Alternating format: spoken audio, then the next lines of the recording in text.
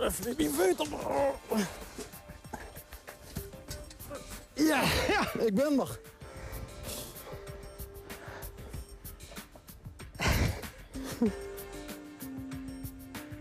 Vanavond op L1 TV. Tips en zo, de rubriek met uittips. Filmspot over de allernieuwste films en nu eerst Uit en Zo.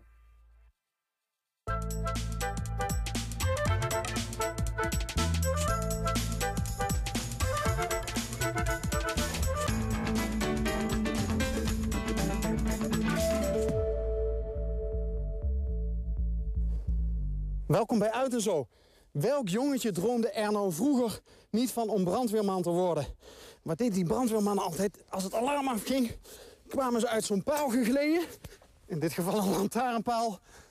En dan met spoed naar de brandweerauto op weg naar het vuur. Die paal hebben ze hier niet. Brandweerauto's wel. Dit is de vrijwillige brandweer in Zevenum. En zij organiseren komend weekend op de Schatberg hier in Zevenum een grote brandweerwedstrijd. Daar wil ik dus alles van weten vandaag.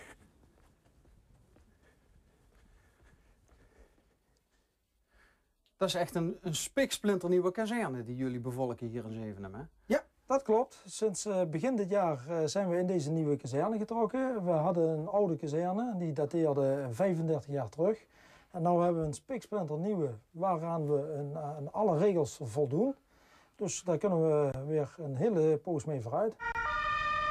Dit is een uh, personeel materieelwagen. Aan die materieelwagen, de woord zegt het al, er zit heel veel uh, materieel in. En daar hangt ook nog een uh, motorspuit aanhangwagen Mhm. achter. Dat heeft met het gebied van Zevenum te maken. En de andere, dat is dus een nieuwer voertuig, dat is de tank-autospuit. Daar zit dus de pomp, de slangen. Nou, daar zit heel veel spullen op die we in de eerste inzet daadwerkelijk nodig kunnen hebben. Uh, je hebt een schaar, Ja? uh, je hebt twee rammen, dus uh, dat is voor auto's zeg maar, open te buigen. En je hebt een spreider, dat is voor deuren open te maken, om zo snel mogelijk bij een slachtoffer te kunnen. Als je denkt aan, aan een brandweerauto ook met name, dan denk je aan het, aan het blussen van brand. Ja. Dan denk je aan water. Ja, ja, ja, nou dat zit hier ook op. En dan zie je aan de achterkant zie je een hele grote pomp zitten. En achter die pomp daar zit 2000 liter uh, water. Via de pomp kunnen we dus naar de hoge drukslangen en naar de lage drukslangen. De hoge drukslangen, dat zijn uh, twee haspels. Die zitten aan beide zijden, dus links en rechts op de auto, zitten twee haspels van... Dat zijn die, die dunnere slangen? Dat zijn, zijn die dat, dunne zwarte slangen met voor een pistool aan, zeg maar. En daar zit 90 meter slang op. En daar kunnen ze een snelle inzet mee doen. Daar kunnen ze dus snel uh, een binnenaanval, hoe wij dat noemen bij de brandweer.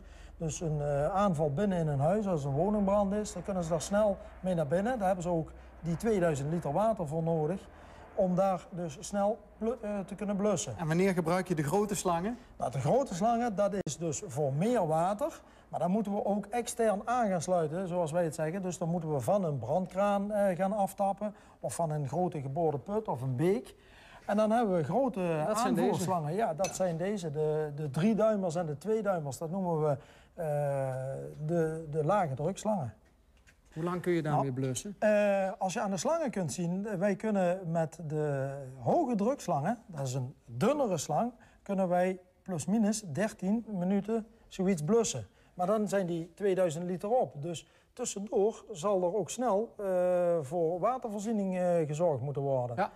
Nou, en die lage drukslangen, ja, daar zal het een minuutje of vijf en dan is het op. Misschien nog wel minder. Dat is ja. afhankelijk van hoeveel dat er uh, af wordt genomen. En uh, 90 meter zijn Daar zit 90 meter op. En uh, hoeveel meters van dit spul, 2 en 3 duims, hebben jullie in totaal, in totaal zitten er 20, dus dat is zeg maar 400 meter 3 duims en een 200 meter 2 duims op.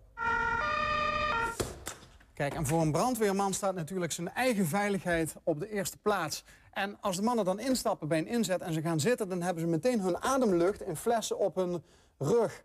Altijd handig natuurlijk als je wordt geconfronteerd met schadelijke stoffen... of bijvoorbeeld met rook en dus een gebrek aan zuurstof. Kijk, nu dacht ik in het begin van... wat hebben ze hier een, uh, een prachtig kunstwerk aan de muur hangen. Maar dat is geen kunstwerk, het is een gasfles. Dat was een gasfles, die is ooit eens een keer ontploft tijdens een brand. Dus een gasfles die bijna leeg was en die hebben ze vervolgens 300 meter verderop in die staat weer teruggevonden. En dat zijn dus de risico's die je als brandweerman loopt bij een inzet.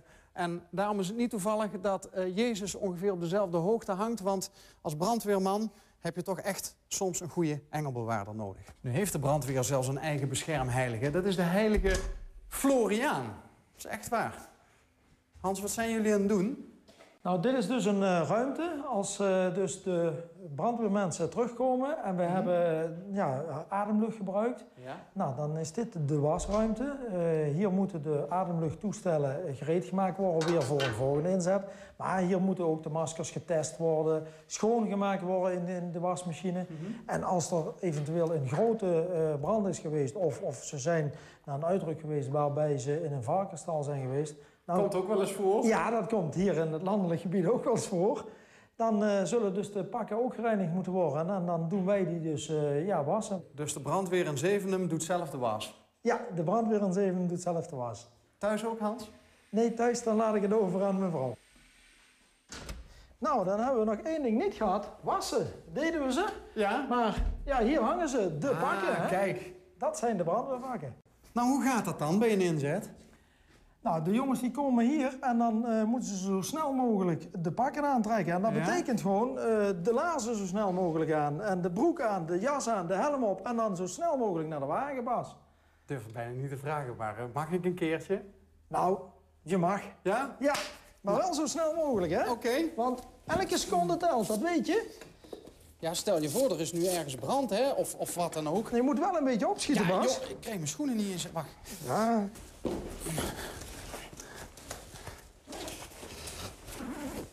Moeten die laarzen nog dicht? Ja, de laarzen moeten extra dicht, want anders vallen ze je dadelijk uit, Bas. Handig zo'n rits, spaart ook wat tijd. Jasje aan. Ik heb de helm op. Zie wel, goed om, wel goed omzetten, Bas. Oh ja. Klikken de klik. Oké, okay. jasje dicht. En dan zijn we uitdruk gereed. Zoals wij dat noemen in brandweerland.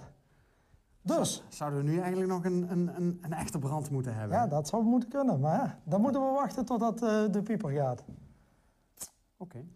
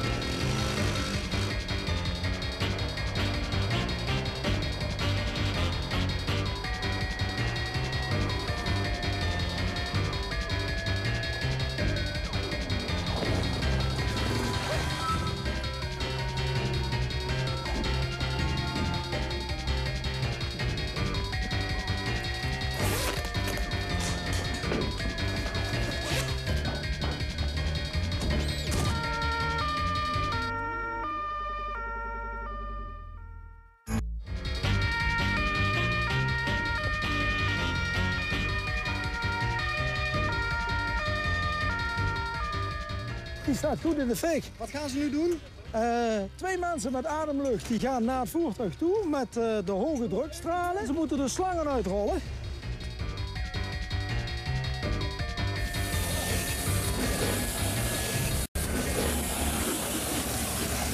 Mag ik maar eens even blussen?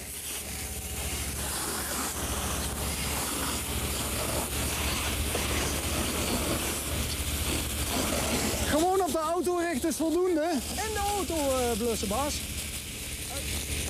Jongensdroom dit, hoor.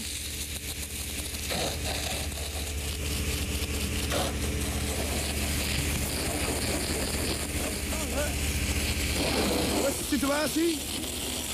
Volgens mij is het uit. Onder controle? Moet ik doorgaan? Ja, nog even. Nog even. Je moet altijd uitkijken voor water in de benzinetank, hè? Ja, daar moet je voor uitkijken. Ja. Wat denk jij, Hans? Oh, ik denk, ik denk dat hij Ja, hij is toteloos, hij is uit en dan gaat de band ook nog kapot. Jammer nou. Dachten we dat we alle vier de banden gered hadden. Eén band kapot. Oké, prima werk man, hij is uit. Hey!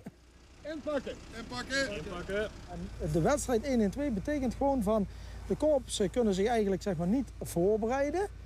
En ze moeten gewoon, eh, eh, ze krijgen een melding en dan moeten ze gewoon naar de plek des onheils toe gaan. En dat maakt het natuurlijk voor zo'n wedstrijd des te moeilijker. Je weet niet wat je tegenkomt. Ja, ja dat klopt. Eh, ze, ze zullen wel links en rechts wat geprepareerd zijn, de jongens. Die zullen wel wat meer geoefend hebben. Maar het kan net zo goed eh, precies iets anders zijn dan wat ze geoefend hebben. Hoeveel brandweerkorpsen doen daar nou aan mee? Er doen eh, negen korpsen aan mee. En dat zijn de landelijke wedstrijden. En eh, dat zijn dus de negen overgebleven korpsen van eh, de 381 ingeschreven korpsen. Nu, nu ehm, vrijwillige brandweermensen, wat, zijn dat nou voor, voor mensen in het dagelijks leven? Moet je dan een extra sociaal betrokken iemand zijn om je naast je normale werk en bezigheden en je privéleven ook nog eens in te zetten als brandweerman? Ja, ik denk van wel. Je moet, eh, je moet toch de drive hebben om eh, ja, iets voor de medeburgers in je gemeenschap te betekenen. En eh, ja, daar, daar gaat het gewoon om van, nou luister, ik wil mijn best inzetten. En dat is gewoon zeven uur eh, of zeven dagen, 24 uur per dag, eh, ben je dan gewoon inzetbaar. Nou, die auto kunnen we afschrijven met werk zit erop. Ja, Koffie? goed zo. Ja, koffie. Ja, en het korps dat uiteindelijk de klus zo snel mogelijk klaart, zo veilig mogelijk klaart, maar ook op het juiste moment de juiste prioriteiten legt, die wint uiteindelijk en krijgt de beker en de gladiolen. Het begint zaterdag hier achter mij op de Schatberg al om 8 uur, maar duurt zeker tot een uur of 5.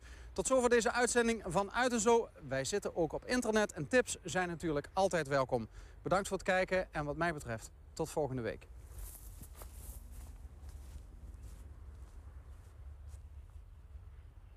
ze me even een vuurtje geven.